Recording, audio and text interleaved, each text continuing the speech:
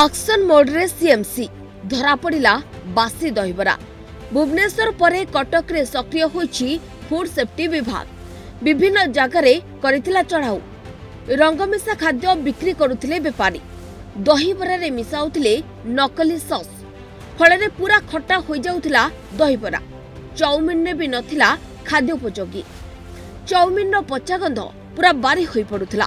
Sauce ବୋତଲରେ ଗୋଟିଏ ଲେବୁଲ ମାତ୍ର ଭିତରେ ଥିଲା ଅନ୍ୟ ପ୍ରକାରର। ଯାହା ଆଖିକୁ ଭଲ ଦେଖାଯାଉଛି ସେଥିରେ ମିଶାଯାଇଛି ରଙ୍ଗ।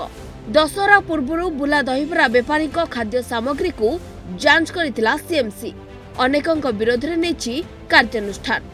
ସେମିତି କିଛି ଦୁର୍ଗାପୂଜା ସାଙ୍ଗରେ ସମ୍ପର୍କ ନାହିଁ ଯେହେତୁ ଆମର ଅଫିସର ତିନି ଜଣ ଆସିଗଲା ପରେ ଆମେ ଜୋନ୍ କରିକିରି ଏଇଟା ଚଢ଼ଉ ଜାରି ରହୁଛି ତେଣୁ ବର୍ତ୍ତମାନ ଆଜି ଆପଣ ସେଠି ଆରାଉଣ୍ଡ ଷାଠିଏ ଖଣ୍ଡେ ଷ୍ଟ୍ରିଟ୍ ଫୁଡ୍ बिक्री में बहुत लोग गैदरिंग होती बहुत छोट पिला भी खाते बड़ लोक सब प्रकार वयस्क लोक तेणु से बिक्री आज आम जो चटटा करागला टोटाल से षाठी ऊर्ध अच्छा फुल अपरेटर तेणु मेनली आम देखिलु दस जन खंडे कर रेजिस्ट्रेसन आम पूर्व जो वार्णिंग दिखाई आउ सब बिना रेजिस्ट्रेसन चली ତେଣୁ ଆରାଉଣ୍ଡ ପଚାଶ ଷାଠିଏ କିଲୋ ବାସି ଖାଦ୍ୟ ଥିଲା ଲକ୍ସିୟସ୍ ଫୁଡ୍ ତାକୁ ନଷ୍ଟ କରା କରିଦିଆଗଲା ଏବଂ ତାଙ୍କୁ ଫର୍ଟି ଏଇଟ୍ ଆୱାର୍ସ ଟାଇମ୍ ଦିଆଗଲା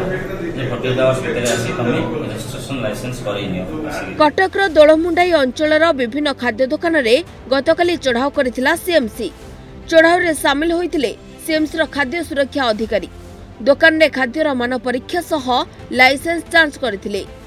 ଦୋକାନର ପରିବେଶ ହାଇଜେନିକ୍ ନଥିବାର ଦେଖିବାକୁ ମିଳିଥିଲା। ଅନେକ ଦୋକାନରେ ରଙ୍ଗ ବ୍ୟବହାର ନକଲି ସସ୍ ଏବଂ କୁଡ଼ କୁଡ଼ ବାସି ଚିକେନ ଥିବା ଜଣାପଡ଼ିଥିଲା। ଅଧିକାଂଶ ଦୋକାନ ବିନା ସରକାରୀ ପଞ୍ଜୀକରଣରେ ଚାଲିଥିଲା। ତେବେ ଏହି ଚଢ଼ାଉ ଆଗାମୀ ଦିନରେ ଚାଲୁ ରହିବ ବୋଲି କହିଛନ୍ତି ସ୍ୱାସ୍ଥ୍ୟ ଅଧିକାରୀ। ସାର୍ ଖାଦ୍ୟ ମଧ୍ୟ ନଷ୍ଟ କରାଯାଇଛି ଯୋଉମାନଙ୍କର କେତେ କଣ ପଚାଶ ଷାଠିଏ କିଲୋ ଖାଦ୍ୟ ଯୋଉଗୁଡ଼ାକ କଲରିଂ ପାଣିର କିଛି କ୍ୱାଲିଟି ନାହିଁ ସାନିଟେସନ ହାଇଜିନ୍ ନାହିଁ ତାକୁ ଆମେ ନଷ୍ଟ କରୁ। ଏବେ ତ ସାର୍ ପ୍ରାୟ ଆମେ ଦେଖୁଛୁ ଯୋଉ ରାସ୍ତା କଡ଼ରେ ବିକୁଛନ୍ତି ଖାଦ୍ୟ ସେ ଜଳଖିଆ ଜ- ଜିଲାପିରେ ଅତି ମାତ୍ରାରେ ରଙ୍ଗ ଦିଆଯାଉଛି ତ ନଜରକୁ ଆସୁଛି। ଆପଣ ଠିକ୍ କହୁଛନ୍ତି ବର୍ତ୍ତମାନ ଆମେ ମୁଁ ଗୋଟେ କର୍ପୋରେଟରଙ୍କୁ ନେଇକି ଗୋଟେ ମିଟିଂ କରିବାକୁ ଯାଉଛି ହଁ। ଯୋଉଟା କି ପ୍ରତ୍ୟେକ କର୍ପୋରେଟର ୱାର୍ଡର ଡାଟାଟା ଆମକୁ ଦେବେ। ହଁ। ଯୋଉ ତାଙ୍କ ୱାର୍ଡରେ ଯେତିକି ଷ୍ଟ୍ରିଟ୍ ଫୁଡ୍ ହଉଛି କି ଯେତିକି ହୋଟେଲ ଅଛି ଛୋଟଠୁ ବଡ଼ ଯାଏ। ହଁ। ତେଣୁ ସେମାନଙ୍କ ଜ୍ଞାତସାରରେ ଅଛି। ତେଣୁ ତାଙ୍କୁ ମଧ୍ୟ ମୁଁ ସେୟାର କରିବାକୁ ଯାଉଛି ଯେମିତି ଡେଙ୍ଗୁର ଆୱାରନେସ୍ ମିଟିଂ ଚାଲିଛି ସେମିତି ମଧ୍ୟ କର୍ପୋରେଟରଙ୍କୁ ନେଇ ଗୋଟେ ମିଟିଂ କରୁଛି ତେଣୁ ସେମାନେ ଏଇଟାକୁ ନିଶ୍ଚିନ୍ତ ଭାବରେ ଆମକୁ ସହଯୋଗ କଲେ। ଆମେ ନିଶ୍ଚିନ୍ତ ହଣ୍ଡ୍ରେଡ୍ ପରସେଣ୍ଟ ଆମେ ସେଫ୍ ଫୁଡ୍ ଲୋକଙ୍କୁ ଦେଇପାରିବୁ। ଦୋକାନୀ ବେପାର କରୁଥିଲେ। ମାନ ଯାଞ୍ଚ ଲାଗି ଅଧିକାରୀ ବି ନିଯୁକ୍ତ ହୋଇଥିଲେ। ତଥାପି ବେଧଡ଼କ ଚାଲିଥିଲା ନିମ୍ନମାନର ଖାଦ୍ୟ ବିକ୍ରି ଯାହାର ମାନ ଯାଞ୍ଚ ଲାଗି ଚଢ଼ାଉ କରିଥିଲା ସିଏମ୍ସି ପ୍ରଶ୍ନ ଉଠୁଛି ପୂର୍ବରୁ କାହିଁକି ଚଢ଼ାଉ ହେଉନଥିଲା?